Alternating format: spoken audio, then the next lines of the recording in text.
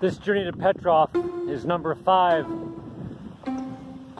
since 1993 and the objective for this one is a vision quest as well as officer candidate training for the Natural Guard and scoping out a new base camp training facility location to purchase land in between the ocean and the lake in the forest by the stream in between a stream and a river and there's a glacier, snowfield, islands, bays, coves, fjords.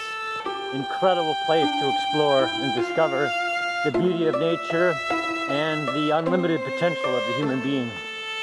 This is training for active and former veterans of the military and search and rescue fields and incredible fun